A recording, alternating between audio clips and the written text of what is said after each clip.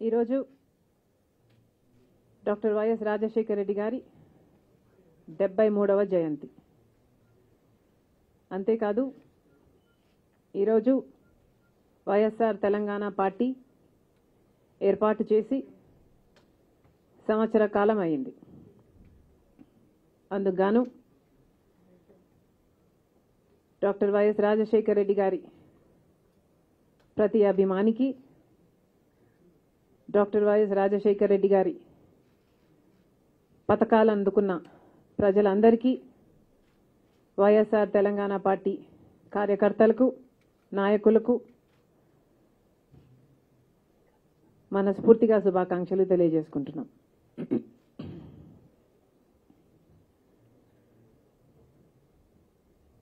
YSR Telangana party స్థాపించి ఈ రోజుకి సంవత్సరం రోజులైంది. And I'm happy to say YSR Telangana Party ఈ సంవత్సరం రోజుల కాలంలో ఎంతో పురోగతి సాధించింది. వైఎస్ఆర్ తెలంగాణ పార్టీ ఈరోజు తెలంగాణ ప్రజలకు నిజమైన ప్రజల పక్షంగా నిలబడే పార్టీగా వైఎస్ఆర్ తెలంగాణ పార్టీ పేరు తెచ్చుకుందంటే thanks to all of YSR Telangana Party team ఈరోజు పాలకులు చెప్తున్న మాట ప్రజలకు సమస్యలే లేవు అని. పాలకులు చెప్తున్న మాట వాళ్ళ పథకాలు అద్భుతంగా ఉన్నాయని అవి అద్భుతంగా అమలవుతున్నాయి అని. అది వాస్తవం కాదు కాబట్టే వైఎస్ఆర్ తెలంగాణ పార్టీ ప్రజల పక్షాన నిలబడి ప్రజలకు సమస్యలు ఉన్నాయి అని అడుగడుగునా ఎత్తి చూపే ప్రయత్నం వైఎస్ఆర్ తెలంగాణ పార్టీ చేసింది. పార్టీ పెట్టకముందే వైఎస్ఆర్ తెలంగాణ పార్టీ నిరుద్యోగుల పక్షాన నిలబడింది.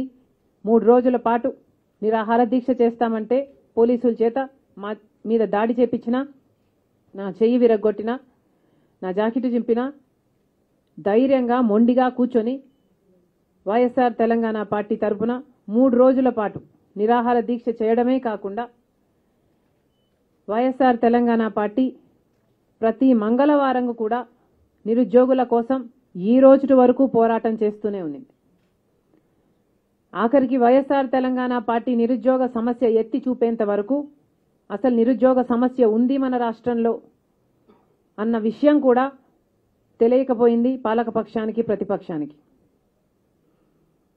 మేము పోరాటం చేసినాకనే ప్రతిపక్షాలకి సోయొచ్చింది పాలకపక్షానికి బుద్ధొచ్చింది ఈ రోజు నోటిఫికేషన్ల గురించి కేసీఆర్ గారు మాట్లాడుతున్నారు.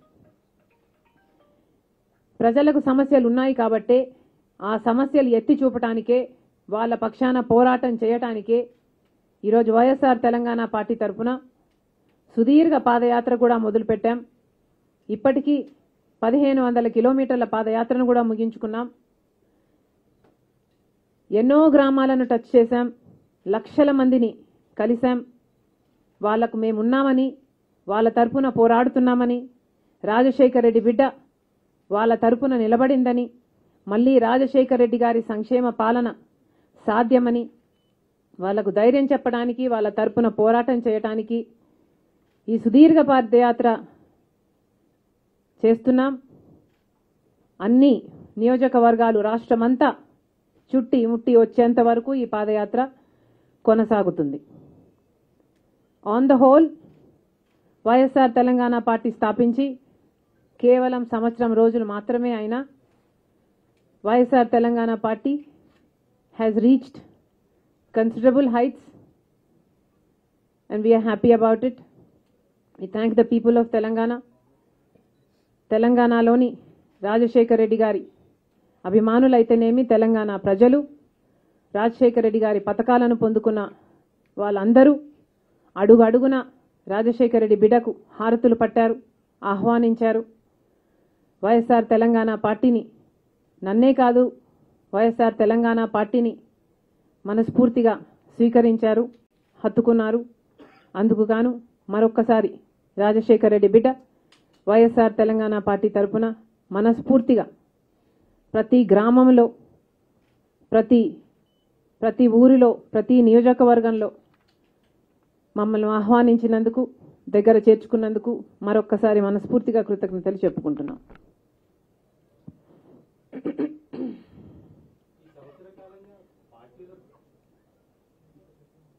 ఇది ఇలా ఉండగా ఈరోజు ఈ ప్రెస్ మీట్ పెట్టడానికి ముఖ్యమైన కారణం ఏమిటంటే ఈరోజు వైఎస్ఆర్ గారి డెబ్బై మూడవ జయంతి. ఈరోజు రాజశేఖర్ రెడ్డి గారు ఈ రాష్ట్రానికి ఐదు సంవత్సరాలు నమ్మకంగా సేవ చేసిన సంక్షేమం అభివృద్ధిని పరుగులు పెట్టించిన ఆఖరికి సేవ చేస్తూనే చనిపోయిన రాజశేఖర్ రెడ్డి గారికి ఈ మహానగరంలో ఆయనను స్మరించుకోవడానికి నివాళులు అర్పించడానికి ఒక్క మెమోరియల్ కూడా ఒక స్థలం కూడా లేకపోవటం. రాజశేఖర్ రెడ్డి గారి పరిపాలన ఒక సువర్ణ యుగం. రాజశేఖర్ రెడ్డి గారు ఎవరు ఊహించని పథకాలను ఎన్నో.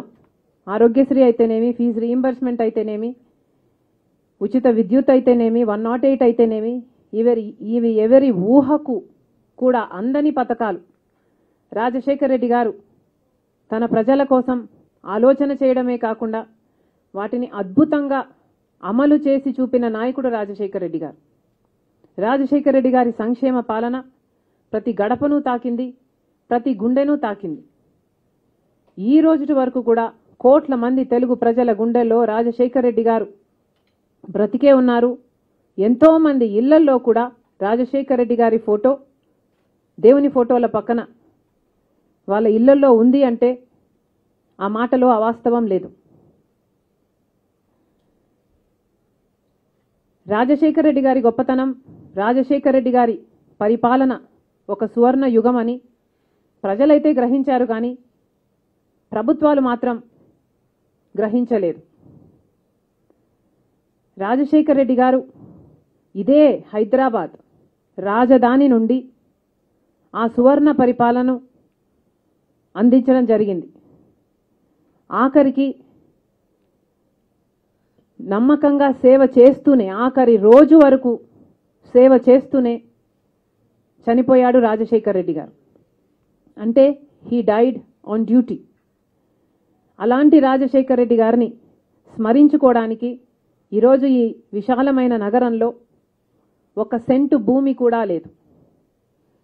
ఈరోజు హైదరాబాద్ నగరం ఎయిర్పోర్ట్ అయితేనేమి అవుటర్ రింగ్ రోడ్ అయితేనేమి మ్యాప్లోనే ఒక బ్యూటిఫుల్ ప్లేసే కాదు దాని వాల్యూను కూడా పెంచాడు రాజశేఖర్ రెడ్డి గారు. అలాంటి రాజశేఖర్ రెడ్డి గారికి ఈరోజు నివాళులు అర్పించుకోవడానికి కూడా ఒక సెంటు భూమి లేదు అంటే అది సిగ్గుచేటు కాదా? రాజశేఖర్ రెడ్డి గారికి నిజంగానే అప్పుడున్న కాంగ్రెస్ పార్టీ కానీ ఇప్పుడున్న టీఆర్ఎస్ పార్టీ కానీ గౌరవం ఇవ్వలేదనే చెప్పాలి. కాంగ్రెస్ పార్టీని రాజశేఖర్ రెడ్డి గారు ఒకసారి కాదు రెండుసార్లు అధికారంలోకి తీ- తీసుకురావడం జరిగింది. రాష్ట్రంలోనే కాదు కేంద్రంలో కూడా అధికారంలోకి తీసుకురావడం జరిగింది రాజశేఖర్ రెడ్డి గారు. మరి అలాంటి రాజశేఖర్ రెడ్డి గారికి కాంగ్రెస్ పార్టీ చేసింది ఏమిటి? రాజశేఖర్ రెడ్డి గారు గెలిపిస్తే కదా ఆ రోజు కాంగ్రెస్ పార్టీ అధికారంలో ఉన్నింది ఐదేళ్ళు అంటే రాజశేఖర్ రెడ్డి గారు ఇచ్చిన అధికారాన్ని వాళ్ళు అనుభవించారు తప్పితే రాజశేఖర్ రెడ్డి గారు ఇచ్చిన అధికారం కదా అని?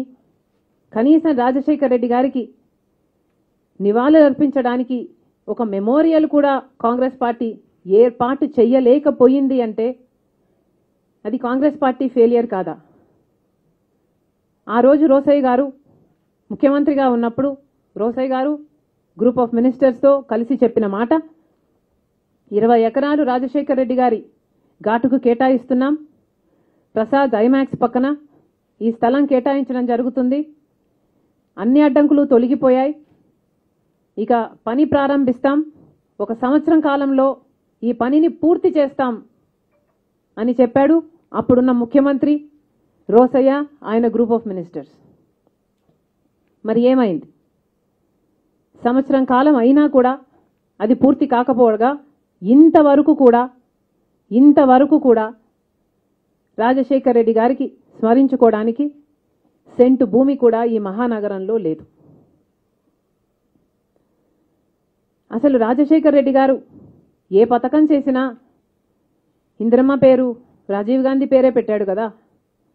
రాజశేఖర్ రెడ్డి గారు ఏం ఆలోచన చేసినా ఏ ప్రాజెక్టు చేసినా ఏ పథకానికైనా వాళ్ళ పేర్లు నిలిచిపోవాలి అని ఆలోచన చేసి కదా వాళ్ళకు నమ్మకంగా వాళ్ళ పేరును పెట్టాడు రాజశేఖర్ రెడ్డి గారు. మరి రాజశేఖర్ రెడ్డి గారి పేరు కోసం కాంగ్రెస్ పార్టీ ఏం చేసింది? రాజశేఖర్ రెడ్డి గారి వాళ్ళ పేర్లను అన్ని పథకాలకు అన్ని ప్రాజెక్టులకు పెడితే కాంగ్రెస్ పార్టీ రాజశేఖర్ రెడ్డి గారి పేరును మాత్రం ఎఫ్ఐఆర్లో ఒక దోషిగా చేర్చింది. అది కూడా రాజశేఖర్ రెడ్డి గారు చనిపోయిన తర్వాత. చనిపోయిన వ్యక్తి మీద సంజాయించి సంజాయిషి ఇచ్చుకోలేని వ్యక్తి మీద ఆయన పేరు మీద కాంగ్రెస్ పార్టీ ఇది చేసింది అంటే ఇది వెన్నుపోటు కాదా? వాళ్ళ పేరు నిలబెట్టాలని రాజశేఖర రెడ్డి గారు ఎంత ప్రయత్నించారు? అలాంటి రాజశేఖర రెడ్డి గారి పేరును కాంగ్రెస్ పార్టీ ఏం చేసింది? దోషిలా చేర్చింది కదా. మరి కాంగ్రెస్ పార్టీకి ఎవరైనా ఎందుకు నమ్మకంగా ఉండాలి? కాంగ్రెస్ పార్టీకి సేవ చేస్తే ఎవరికైనా ఏమొస్తుంది? కాంగ్రెస్ పార్టీ ఏం చెప్పింది ప్రపంచానికి?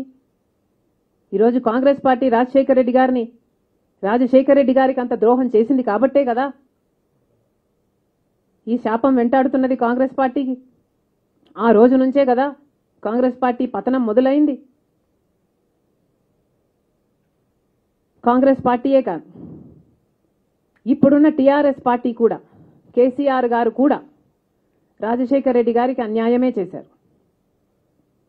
రాజశేఖర్ రెడ్డి గారు సిఎల్పి లీడర్గా ఉన్న సమయంలోనే తెలంగాణ వాదాన్ని వినిపించటానికి నలభై మంది చేత నలభై మంది చేత సంతకాలు పెట్టి కేంద్రానికి పంపించిన నాయకుడు రాజశేఖర్ రెడ్డి గారు.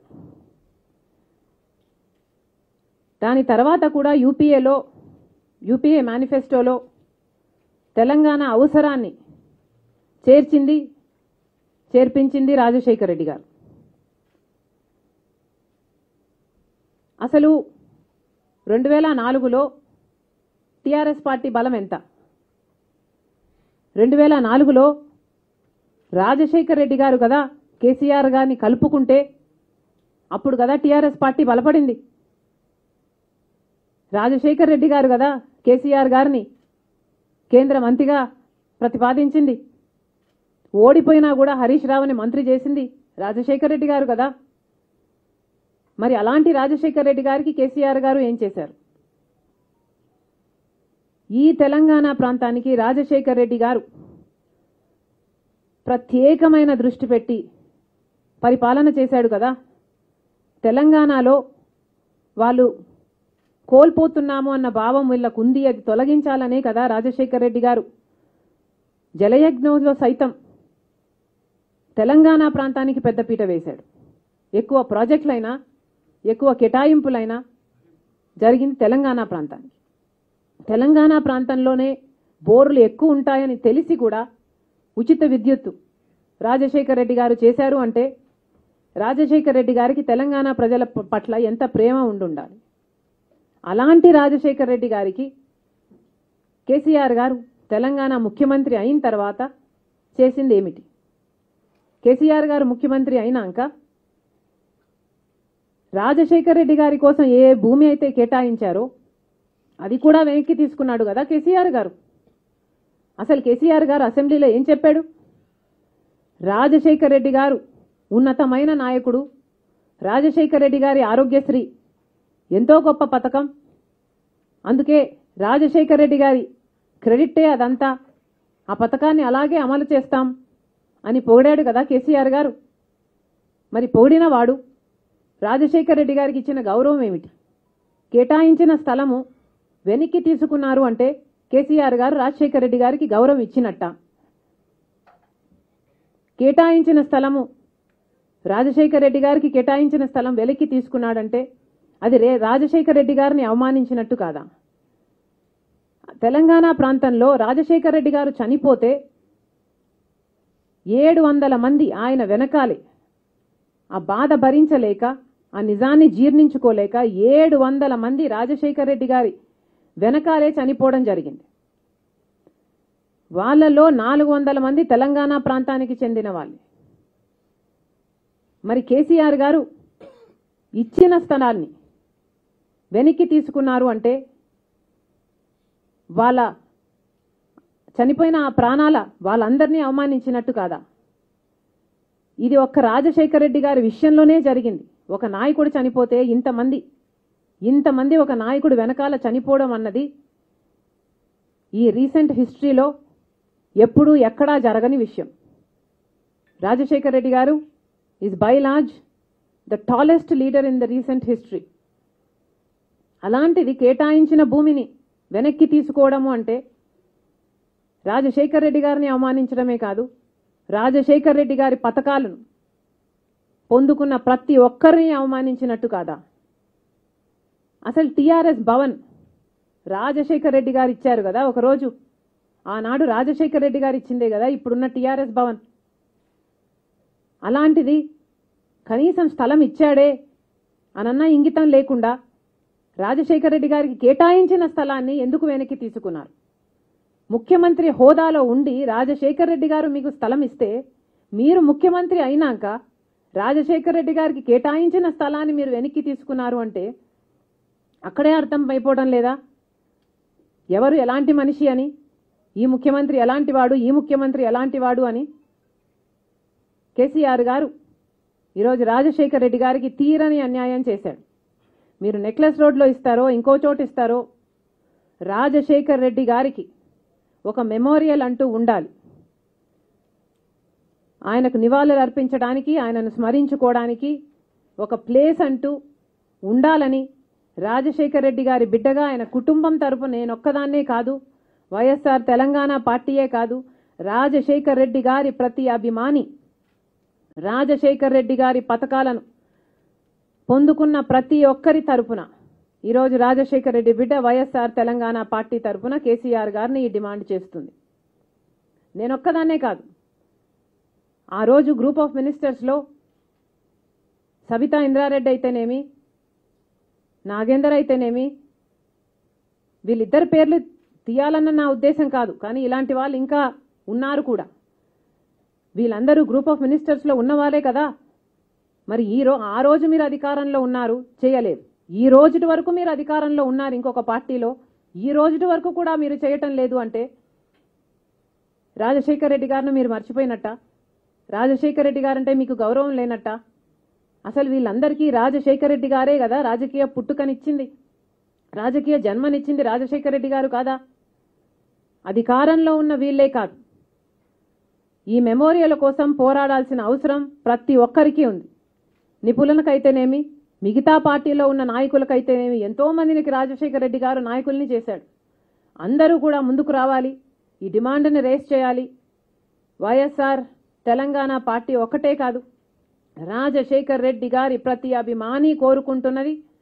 హైదరాబాద్ నగరంలో రాజశేఖర్ రెడ్డి గారికి ఒక మెమోరియల్ అంటూ ఉండాలి.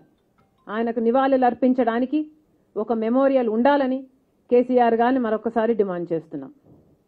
థ్యాంక్ యూ రాస్తామమ్మా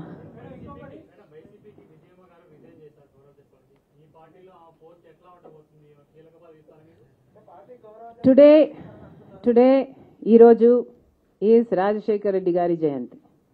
ఎక్కడో ఏదో జరిగింది కదా అని మీరు నన్ను ప్రశ్నలు అడిగి నేను దానికి సమాధానాలు చెప్పి మీరు అవే హాట్ టాపిక్గా చేస్తే వీఆర్ ఇన్సల్టింగ్ రాజశేఖర్ రెడ్డి గారు. ఈరోజు topic please let stick to the memorial of doctor YS Rajasekhar Reddy garu. ఇప్పటికి పదమూడు సంవత్సరాలు అయిపోయింది ఆయన చనిపోయి. This is not right madam TRS party ఒక పక్క తెలుగుదేశం పార్టీ సపోర్ట్ చేస్తూ ఆ, ఒక ఎన్టీ రామారావు విగ్రహానికి తీర్మానం చేస్తున్నారు ఆయన మంత్రులు ఎమ్మెల్యేలందరూ కూడా సపోర్ట్ చేసే పరిస్థితి ఎందుకు రాజశేఖర రెడ్డి గారి విషయంలో ఎందుకు అంత ఆ, తేడా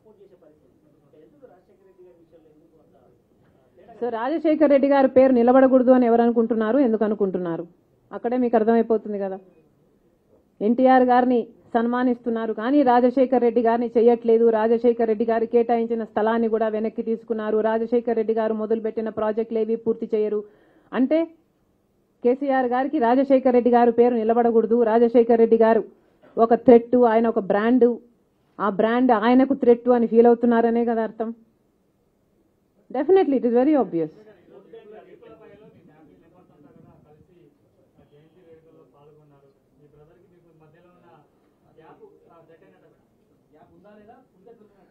ఈరోజు ఈజ్ అబౌట్ వైఎస్ఆర్ మెమోరియల్ ఇప్పుడు శుక్రవారం హైదరాబాద్లో వైఎస్ఆర్ టీపీ తరఫున తెలంగాణ పార్టీ తరఫున వస్తారా లేకపోతే మీ కుటుంబ సభ్యులు జగన్ తర- జగన్ కూడా ఏదైనా ఆ, తెలంగాణ ప్రభుత్వానికి ఏదైనా లేఖ రాసే అవకాశం ఉందా నేను రాజశేఖర రెడ్డి గారి కుటుంబంగా కొత్తగా జన్మించలేదు ఇప్పుడు. నేను ఎప్పటి నుంచో రాజశేఖర రెడ్డి గారి కుటుంబమే. రాజశేఖర రెడ్డి గారి కుటుంబంగానే మేము డిమాండ్ రేస్ చేయాలనుకుంటే ఇన్ని సంవత్సరాలు కూడా రేస్ చేశాము అడిగాము. కాంగ్రెస్ పార్టీ వాళ్ళని అధికారంలో ఉన్నప్పుడు చాలా ప్రెషర్ కూడా పెట్టడం జరిగింది కానీ అవేవి ఫలించలేదు. కానీ ఈరోజు రాజశేఖర రెడ్డి బిడ్డ తెలంగాణలో ఒక పార్టీ పెట్టింది. ఈరోజు తెలంగాణ పార్టీ పెట్టినాక కూడా ఇక్కడ నుంచి నేను ఈ ప్లాట్ఫామ్ నుంచి నేను మాట్లాడకపోతే నేను అన్యాయం చేసిందాన్ని అవుతాను.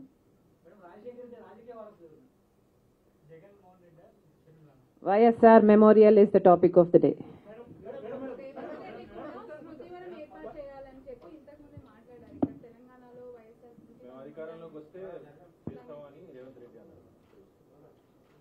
ఇంతకుముందు ఎందుకు చేయలేదమ్మా? ఐదు సంవత్సరాలు రాజశేఖర్ రెడ్డి గారు అధికారము తెచ్చుకుని పల్లెంలో పెట్టి ఇచ్చాడు కదా? రాజశేఖర్ రెడ్డి గారు గెలిచి మూడు నెలలు గెలిచాడు. గెలిచిన మూడు నెలలకు పల్లెంలో పెట్టి వాళ్ళకు అందిస్తే మరి అప్పుడు చెయ్యని వాళ్ళు ఇప్పుడు చేస్తారా? అప్పుడు ఇంతకంటే గొప్ప నాయకులే ఉన్నారు. Rosaiah garu is a better candidate than Revanth Reddy Revanth Reddy is a thief a blackmailer an extortionist ఓటుకు నోటు కేసులో అడ్డంగా దొరికిపోయినవాడు. ఈయన ఏ మాటలు చెప్తే మాత్రం ఎవరు నమ్ముతారు? చెప్పేవాడికైనా క్రెడిబిలిటీ ఉండాలా? వినేవాడికైనా బుద్ధి ఉండాలా?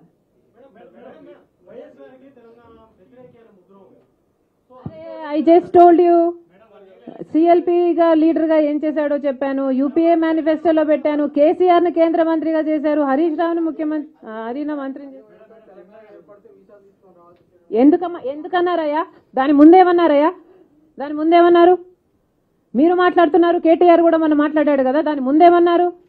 కేటీఆర్ గారేమో రాజశేఖర రెడ్డి గారు మాటిన మా- మాట్లాడిన మాట మాట్లాడతాడు కానీ వాళ్ళ అయ్యే మాట్లాడిన మాట ఎందుకు మాట్లాడు ఏం చెప్పాడు కేటీఆర్ రాజశేఖర రెడ్డి గారు వీసాలు తీసుకోవాలి రావాలంటున్నాడు కానీ ఆరో అంతకు ముందు కేటీఆర్ గారు ఏమన్నారు? కేసీఆర్ గారు ఏమన్నారు? ఏమన్నాడు వాళ్ళ ఇక్కడున్న సంస్థలను ఆంధ్ర వాళ్ళందరినీ పంపించేస్తాము. ఇక్కడున్న సంస్థలన్నిటినీ మూయించేస్తాము. ఇలాంటి టెర్రరిస్ట్ మాటలు మాట్లాడితే మరి ఏ ముఖ్యమంత్రి అయినా ఏం మాట్లాడతాడయా కాంటెక్స్లో మాట్లాడండి. కాంటెక్స్లో నుంచి మీరు టెక్స్ట్ కాన్ తీసేస్తే కాన్ మిగులుతుంది. కాన్ అంటే ఏంటో తెలుసా? మోసమని.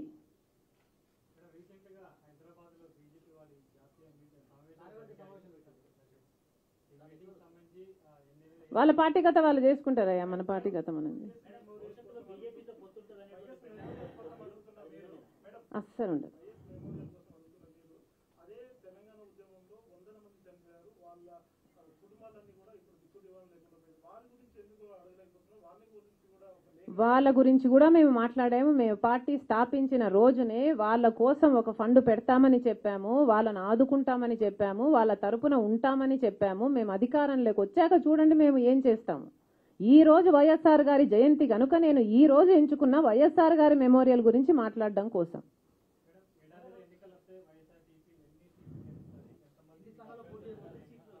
అన్నిట్లో పోటీ చేస్తాం. God will decide. Today is about YSR memorial నేను ఏం చెప్పినా మీరు అది హైలైట్ చేస్తారు. సో